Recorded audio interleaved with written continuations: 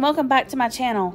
This week we are going to share four of the most delicious meals that we had this week. They were easy, they were affordable, and they were delicious. So stay tuned. Let's get in the kitchen and let's get cooking.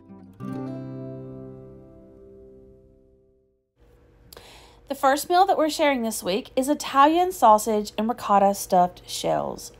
So I had a package, a one pound package of sweet Italian sausage. So I just put that in my cast iron skillet and I browned that up. Next, I'm going to take this container of ricotta and I'm going to put that into my mixing bowl and then I'm going to be adding in some seasonings. Once I have the ricotta in my mixing bowl, I'm going to add in a bunch of seasonings. So I'm going to start with garlic powder. I'm going to season this liberally with the garlic powder. A lot of times if people think they don't like ricotta, it's because they're not seasoning it enough. So I'm also going to add in some minced onion. I'm going to add in some Italian seasoning. And then I'm going to add in a little kick. I'm going to add in some ground red cayenne pepper. So I'm going to add that to the ricotta cheese. I'm going to give this a stir so that it becomes well combined. Next, I'm going to season with some pepper. I'm not going to add any extra salt because there's going to be a lot of salt in the other items that I'm going to add to this mixture. I'm also going to add in some Parmesan cheese, just a handful or so. I'm going to add that and some mozzarella to the ricotta cheese. And then I'm going to give that a stir to combine. And the next thing I'm going to add is an egg. The egg is going to act as a binder, so it's going to give this a more of a thickening um, texture, I guess you could say. So I just stir that egg into my mixture and then I'm going to be ready to add in the sausage.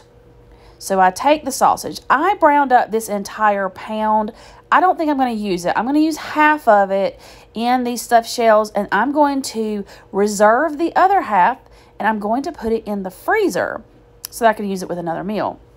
So I give the mixture a stir and then I'm going to take a freezer bag. I was out of quart size freezer bags, so I had to use this big gallon size, which was too big, but that's okay.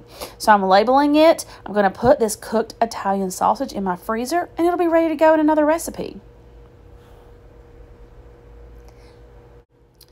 Now it's time to stuff my shells. So I have my 9 by 13 casserole dish.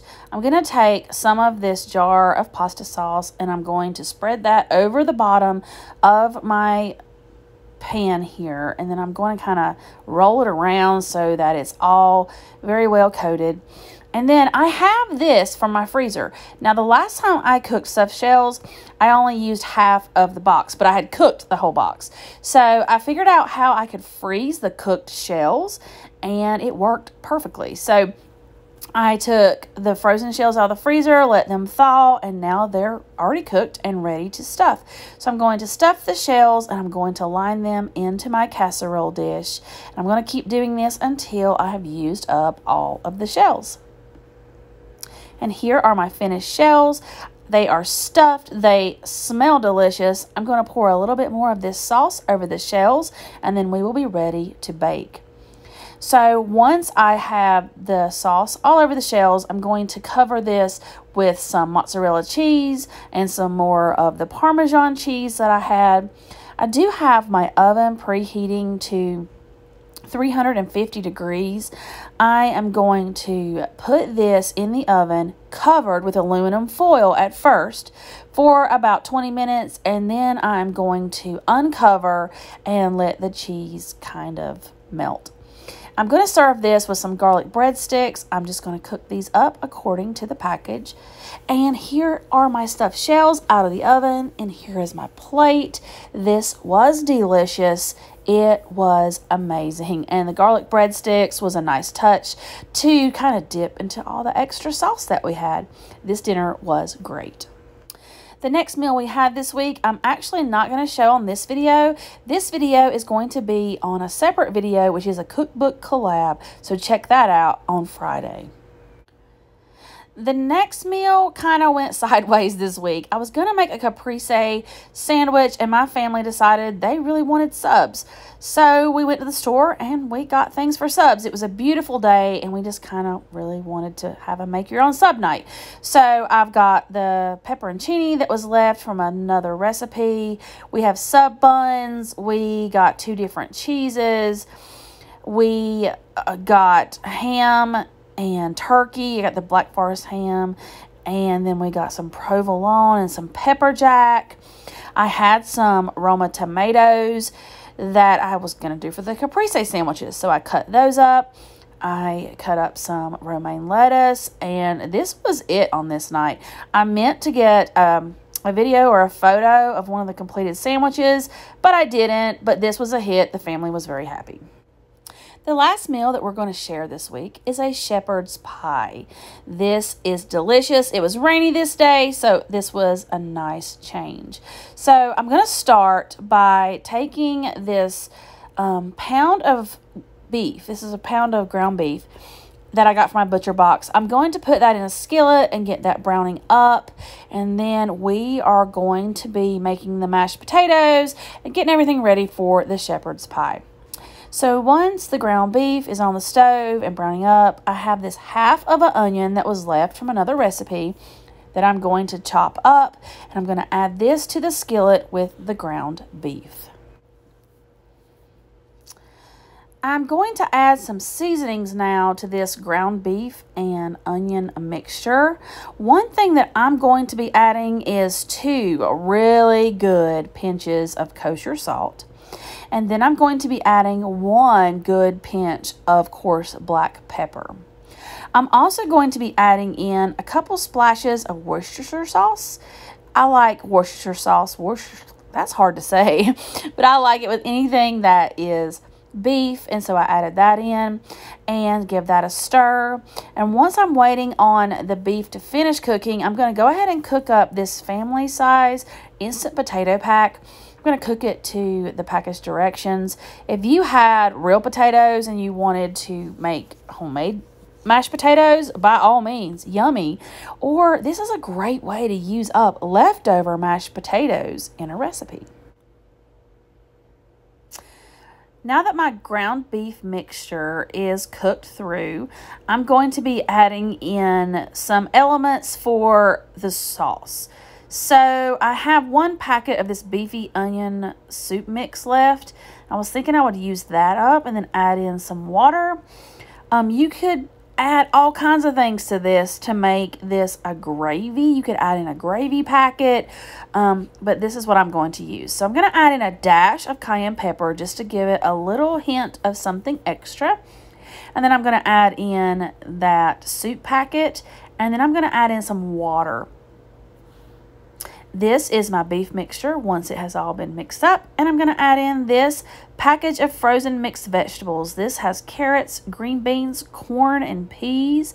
So I'm going to add that in to my skillet and let that begin to heat through while I'm waiting on my mashed potatoes. Now, I have seen shepherd's pie that had just peas and carrots. I have seen where they have actually added diced potatoes to this part, but this is the way that I've always made it. So, next, I shredded up a block of sharp cheddar cheese that I had. I don't think I'm going to be using the whole thing on top of this, but I went ahead and shredded it all up so that I would have extra for another recipe. So here is my casserole dish. It's not like measured by like the size of the perimeter, I guess you could say. It's just a three quart casserole dish. So I sprayed it lightly just so there wouldn't be anything sticking. And then I'm going to add the beef mixture to the bottom. And I'm going to spread that into an even layer into the bottom of this casserole dish. Now, I will say that using that French onion soup and water made this really watery. I would add a cornstarch slurry to make this thicker. I'm going to take my mashed potatoes. I'm going to spread that in an even layer on top of the meat mixture. This is already smelling so delicious. The potatoes with the meat and the onions and the veggies and the soup this is such a comforting meal. So once I get the mashed potatoes spread in an even layer, we will cover with cheese. So I take about half of this block of cheese and I spread that over the top of the mashed potatoes. Again, I just like to go ahead and get all the work done at once. So I had my shredder out, I had the cheese out. Why not go ahead and shred the whole thing? So I will just place whatever cheese is left over in a baggie, put it in my fridge, and then I have it ready for the next time I need it. Once I have all the cheese on top of the mashed potatoes, I am going to cover this with foil. I have my oven preheated to 350 degrees. I am going to cover this with foil, put it in the oven for 20 minutes. Then I'm going to remove the foil. I'm going to up the temperature to 425 and let it sit for another 10 minutes just to brown the cheese. And here is my shepherd's pie out of the oven. Here you can see some of that liquid seeping through. That's what I was talking about. It was a little watery. But here is our plate. This was delicious. This is always delicious and it's such a comfort food. Definitely something that you need to try. This was a delicious dinner.